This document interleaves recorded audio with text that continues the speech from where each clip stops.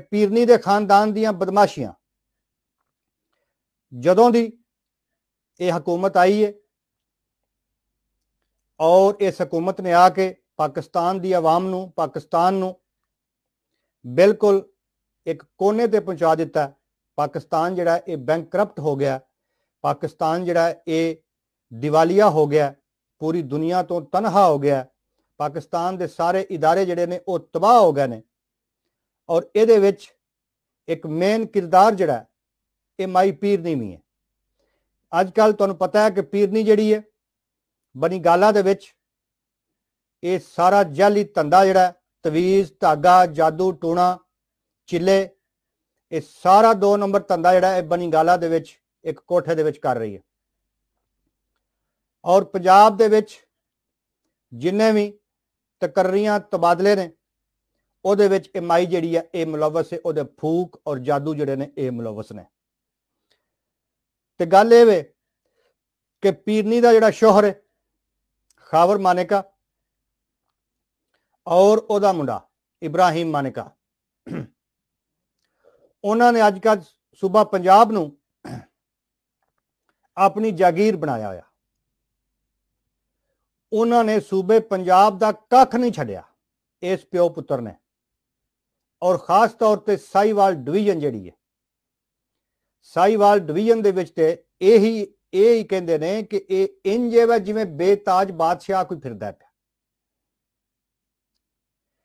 ਜਿਸ ਦਿਨ ਦੇ ਇਹਨਾਂ ਨੇ ਉਹ ਮਾਈ ਦੀ ਕੁਰਬਾਨੀ ਦਿੱਤੀ, ਨਿਆਜ਼ੀ ਦੇ ਅੱਗੇ ਟੋਰੀ ਔਰ ਉਸ ਕੁਰਬਾਨੀ ਦੇ ਬਦਲੇ ਸਾਈਵਾਲ ਡਿਵੀਜ਼ਨ ਦੇ ਵਿੱਚ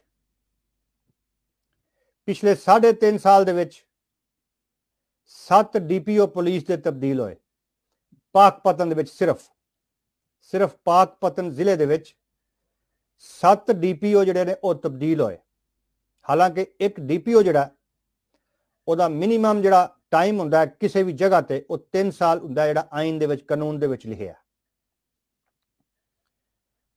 ਸੱਤ ਬੰਦੇ ਇਸ ਤਬਦੀਲ ਕਰਵਾਏ। ਉਹਦੀ ਵਜੂਹਾਤ ਕੀ ਨੇ? ਉਹਦੀ ਵਜੂਆਤ ਇਹ ਵੇ ਕਿ ਜਿਹੜਾ ਅਫਸਰ ਆਣਾ ਉਹਨੂੰ ਪਿੱਛੋਂ ਲਾਹੌਰ ਤੋਂ ਇਹ ਕਹਿ ਕੇ ਘੱਲਿਆ ਜਾਂਦਾ ਹੈ ਕਿ ਜਾ ਕੇ ਤੂੰ ਖਾਬਰ ਮਾਨੇਕਾ ਦੇ ਪੈਰ ਫੜਨੇ ਨੇ ਸਭ ਤੋਂ ਪਹਿਲੇ ਔਰ ਸਜਦਾ ਕਰਨਾ ਉਹਦੇ ਗੋਡਿਆਂ ਤੇ ਔਰ ਉਹਦੇ ਤੇ ਬੈਤ ਕਰਨੀ ਹੈ ਔਰ ਉਹਦੇ ਕੋਲੋਂ ਹਦਾਇਤ ਲੈਣੀ ਹੈ ਕਿ ਤੂੰ ਕੀ ਕਰਨਾ ਹੈ ਪਾਕਪਤਨ ਦੇ ਵਿੱਚ, ਤੇਰਾ ਕੰਮ ਕੀ ਹੋਏਗਾ। ਉਹ ਜਦੋਂ ਜਾਂਦਾ ਕਿਉਂਕਿ ਉਹ ਪੜ੍ਹੇ ਲਿਖੇ ਅਫੀਸਰ ਹੁੰਦੇ ਨੇ ਸੀਐਸ ਐਸਐਸ ਕਰਕੇ ਆਏ ਹੁੰਦੇ ਨੇ, ਉਹਨਾਂ ਆਪਣੀ ਜਾਬ ਕਰਨੀ ਹੁੰਦੀ ਹੈ, ਜੋ ਉਹਨਾਂ ਦੇ ਕਾਨੂੰਨ ਦੇ ਮੁਤਾਬਕ ਹੁੰਦੀ। ਉਹ ਨਹੀਂ ਜਾਂਦੇ ਉੱਥੇ ਫਿਰ। ਉਹ ਜਾਂਦੇ ਨੇ, ਆਪਣਾ ਚਾਰਜ ਸੰਭਾਲਦੇ ਨੇ ਅੱਲਾ ਅੱਲਾ ਖੈਰ ਸੱਲਾ। ਹਫਤਾ ਲੱਗਦਾ 10 ਦਿਨ ਲੱਗਦੇ ਨੇ, ਉਹ ਜਿਹੜਾ ਮਾਈ ਦਾ ਬੰਦਾ ਹੈ, ਖਾਬਰ ਮਾਨੇਕਾ ਜਿਸ ਐਡੀ ਵੱਡੀ ਕੁਰਬਾਨੀ ਦਿੱਤੀ ਜ਼ਹਿਰੀ ਗੱਲ ਹੈ ਜਿਸ ਆਪਣੀ ਬੀਬੀ ਦੇ ਛੜੀ ਇਸ ਤੋਂ ਵੱਡੀ ਕਿਹੜੀ ਕੁਰਬਾਨੀ ਹੋ ਸਕਦੀ ਹੈ, ਮਿਠਿਓ? ਹੋ ਸਕਦੀ ਹੈ ਤੇ ਉਹ ਜਿਹੜਾ ਉਹਦਾ ਮੁੰਡਾ ਇਬਰਾਹੀਮ, ਜਿਸ ਆਪਣੀ ਆਪਣੀ ਹੱਥੀ ਮਾਂ ਜਿਹੜੀ ਵਿਆਹ ਛੜੀ ਔਰ ਉਸ ਵਿਆਹ ਦੇ ਚੌਲ ਵੀ ਖਾ ਲਏ, ਉਸ ਤੋਂ ਵੱਡੀ ਤੇ ਕੋਈ ਕੁਰਬਾਨੀ ਨਹੀਂ ਨਾ ਹੋ ਸਕਦੀ। ਉਹ ਜਨਾਬ ਜਦੋਂ ਹਫਤਾ 10 ਦਿਨ ਡੀਪੀਓ ਨਹੀਂ ਜਾਂਦਾ, ਉੱਥੇ ਸਿਰ ਟੇਕਣ, ਮੱਥਾ ਟੇਕਣ, ਉਹ ਉਹ ਆਪ ਉੱਥੇ ਪਹੁੰਚ ਜਾਂਦਾ ਆਪਣੇ ਬੰਦੇ ਲੈ ਕੇ। ਕਿ ਹਾਂ ਵੀ ਤੂੰ ਮੈਨੂੰ ਸਲਾਮ ਕਰਨ ਨਹੀਂ ਆਇਆ, ਤੇਰੀ ਐਸੀ ਦੀ ਤੈਸੀ ਹੁੰਦਾ ਜੀ, ਮੈਂ ਤੁਹਾਨੂੰ, ਤੈਨੂੰ ਕਿਉਂ ਸਲਾਮ ਕਰਾਂ? ਤੂੰ ਇੱਥੇ ਕੀ ਪੰਜਾਬ ਦਾ ਸਾਲਾ ਲੱਗਣਾ? ਮੈਂ ਸੀਐਸਪੀ ਅਫੀਸਰ ਹਾਂ, ਤੂੰ ਕੌਣ? ਦੋ ਟਕੇ ਦਾ ਗੁੰਡਾ, ਜਿਸ ਬੀਬੀ ਆਪਣੀ ਦੇ ਕੇ ਤੇ ਇਕਤਦਾਰ ਲਿਆ। ਉਹ ਅੱਗੋਂ ਆਪਣਾ ਆਕੜ ਜਾਂਦੇ ਨੇ। ਮੇਰੇ ਵਰਗੇ ਜੀ ਕੋਈ ਸਿਰ ਫਿਰੇ ਜੂ ਨੇ। ਔਰ ਸਾਰਾ ਮੇਰਾ ਬੈਜ ਹੀ ਹੈ, ਮੇਰੀ ਉਮਰ ਹੀ ਸਾਰੀ ਉਹ। ਆਂਦੇ ਨੇ, ਨਹੀਂ, ਅਸਾਂ ਨਹੀਂ ਸਿਰ ਤੇ ਇੱਥੇ ਮੱਥਾ ਟੇਕਣਾ। ਉਹ ਮਹੀਨਾ ਵੀ ਨਹੀਂ ਕਰਦੇ ਕਈ 2 ਮਹੀਨੇ ਬਾਅਦ ਫ਼ਰਕ ਕਈ ਮਹੀਨੇ ਬਾਅਦ ਕੀ ਡੇਢ ਬਾਅਦ, ਕੋਈ ਤਰੀਕ ਤਰੂਕ ਕੇ ਕੋਈ 6 ਮਹੀਨੇ ਕਿਸੇ ਕੱਢੇ ਹੋ ਇਸ ਤਰ੍ਹਾਂ ਉਹ ਕਰਦਾ ਕੀ ਹੈ ਕਿ ਇੱਕ ਸਕੂਲ ਟੀਚਰ ਤੋਂ ਲੱਗ ਕੇ ਸਕੂਲ ਟੀਚਰ ਹੋ ਗਏ, ਉਸ ਤੋਂ ਬਾਅਦ ਮਹਿਕਮਾ ਜ਼ਰਾਤ ਦੇ ਹੋ ਗਏ, ਕੋਈ ਗਵਰਨਮੈਂਟ ਦਾ ਮਹਿਕਮਾ। ਨਾ ਕੋਈ ਬੰਦਾ ਉੱਥੇ ਕੋਈ ਤਬਾਦਲਾ ਹੋ ਸਕਦਾ, ਉਹਦੇ ਉਹਦੇ ਪੁੱਛਣ ਤੋਂ ਬਗੈਰ ਸਾਈਵਾਲ ਡਿਵੀਜ਼ਨ ਦੀ ਮੈਂ ਗੱਲ ਕਰ ਰਿਹਾ। ਔਰ ਨਾ ਹੀ ਕੋਈ ਅਫਸਰ ਉੱਥੇ ਆ ਕੇ ਲੱਗ ਸਕਦਾ। ਤੁਸੀਂ, ਤੁਹਾਨੂੰ ਮੈਂ ਇੱਕ ਗੱਲ ਸੁਣਾਣਾ ਉੱਥੇ ਇੱਕ ਕਮਿਸ਼ਨਰ ਸਾਹਿਬ ਲੱਗੇ ਪਿਛਲੇ ਸਾਲ। ਸਾਈਵਾਲ ਡਿਵੀਜ਼ਨ ਦਾ ਜਿਹੜਾ ਸਭ ਤੋਂ ਵੱਡਾ ਅਫਸਰ ਹੁੰਦਾ, ਉਹਦੇ ਥੱਲੇ 3-4 ਜ਼ਿਲ੍ਹੇ ਔਰ 5-6 ਤਹਿਸੀਲਾਂ ਹੁੰਦੀਆਂ। ਡਿਵੀਜ਼ਨ ਦਾ ਸਭ ਤੋਂ ਵੱਡਾ ਅਫਸਰ ਉਹਨੂੰ ਕਮਿਸ਼ਨਰ ਕਹਿੰਦੇ ਨੇ। ਉੱਥੇ ਉਹ ਲੱਗਦਾ, ਚਾਰ ਚੂਰ ਸੰਭਾਲਿਆ, ਹਫਤਾ 10 ਦਿਨ। ਇਹਦਾ ਜਿਹੜਾ ਮੁੰਡਾ ਇਬਰਾਹਿਮ ਜਿਨੇ ਆਪਣੀ ਹੱਥੀਂ, ਆਪਣੀ ਮਾਂ ਜਿਹੜੀ ਉਹ ਟੋਰੀ, ਵਿਆਹ ਕੀਤਾ ਉਹਦਾ ਔਰ ਉਹਦਾ ਗੋਸ਼ਟ ਵੀ ਖਾਦਾ ਉਹ ਟੈਲੀਫੋਨ ਕਰਦਾ ਕਮਿਸ਼ਨਰ ਸਾਹਿਬ ਨੂੰ। ਤੁਸੀਂ ਅੰਦਾਜ਼ਾ ਲਾ ਲਓ ਜ਼ਰਾ ਕਿ ਕਿਸ ਹੱਦ ਤੱਕ ਪਾਕਿਸਤਾਨ ਦੀ ਬਿਊਰੋਕ੍ਰੇਸੀ ਨੂੰ ਇਹਨਾਂ ਤਬਾਹ ਕੀਤਾ। ਟੈਲੀਫੋਨ ਕੀਤਾ, ਉਹਨੇ ਨਾ ਚੁੱਕਿਆ ਕਿਧਰੇ ਬਿਜ਼ੀ ਹੋਏਗਾ, ਮੀਟਿੰਗ ਵਿੱਚ ਹੋਏਗਾ, ਨਮਾਜ਼ ਪੜ੍ਹ ਰਿਹਾ ਹੋਏਗਾ ਜਾਂ ਖਾਣਾ ਖਾ ਰਿਹਾ ਹੋਏਗਾ ਜਾਂ ਕਿਧਰੇ ਕਿਸੇ ਜਗ੍ਹਾ ਤੇ ਗਿਆ ਹੋਏ।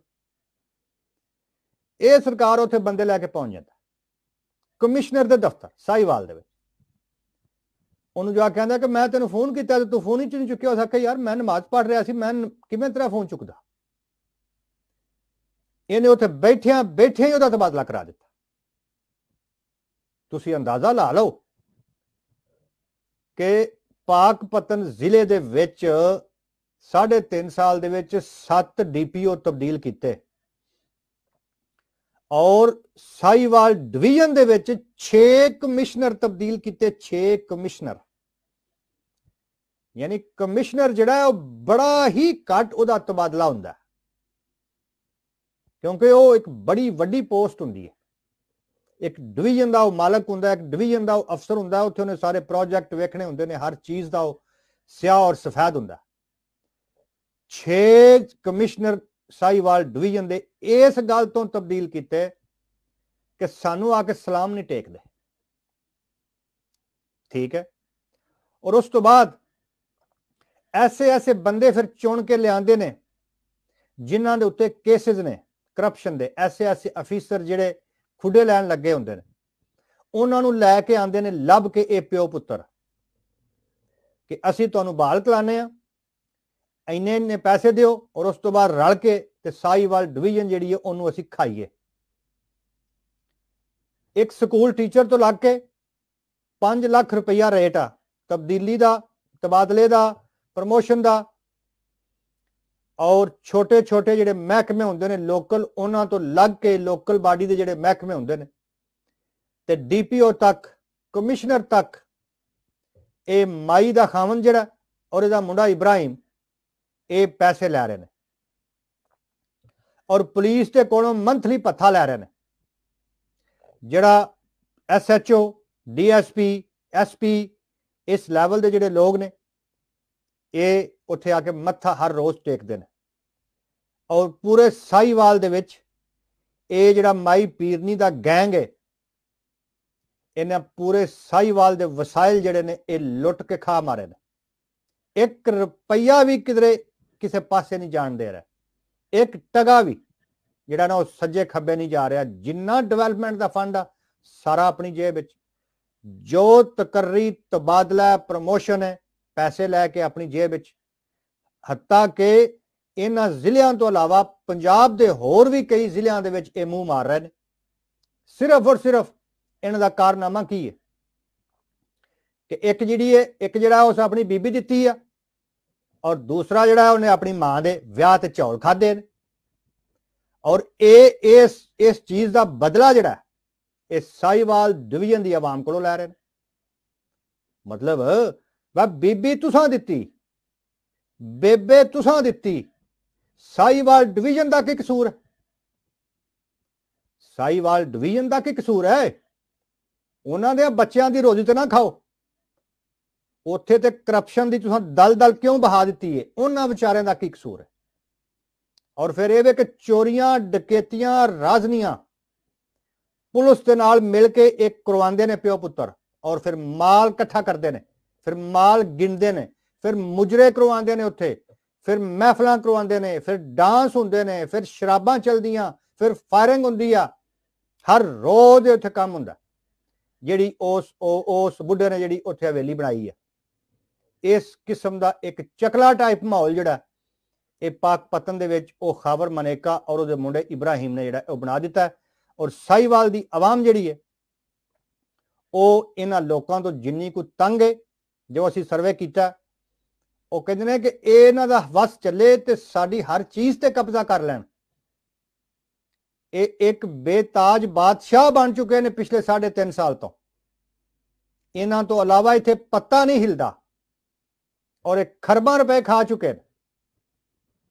ਜ਼ਹਿਰੀ ਗੱਲ, ਏਡੀ ਵੱਡੀ ਕੁਰਬਾਨੀ ਦਿੱਤੀ ਹੈ ਤੇ ਪੈਸੇ ਖਾਣੇ ਤੇ ਬਣਦੇ ਨੇ ਨਾ ਜੀ। ਤੇ ਇਹ ਉਹ ਸਟੋਰੀ ਸੀ ਜਿਹੜੀ ਅਸੀਂ ਨੰਗਾ ਕਰਨਾ ਸੀ। ਮਾਈ ਪੀਰਨੀ ਦੇ ਖਾਨਦਾਨ ਦੀ ਤਬਾਹੀ ਜਿਹੜੀ ਉਹਨਾਂ ਕੀਤੀ ਹੈ ਸਾਈਵਾਲ ਡਿਵੀਜ਼ਨ ਦੀ, ਔਰ ਗਰੀਬ ਆਵਾਮ ਦਾ ਇੱਕ ਇੱਕ ਪੈਸਾ ਇਹਨਾਂ ਲੁੱਟ ਲਿਆ। ਔਰ ਅੱਜ ਅਲਹਮਦੁਲਿਲਾ ਸਿਆਸੀ ਡੇਰਾ ਨੇ ਇਹਨਾਂ ਨੂੰ ਬੇਨਕਾਬ ਕਰ ਦਿੱਤਾ ਹੈ। ਇਹਨਾਂ ਦੇ ਸਾਰੇ ਗੰਦੇ ਧੰਦੇ ਜਿਹੜੇ ਨੇ ਉਹ ਅਸੀਂ ਤੁਹਾਡੇ ਸਾਹਮਣੇ ਬੇਨਕਾਬ ਕਰ ਦਿੱਤੇ ਨੇ।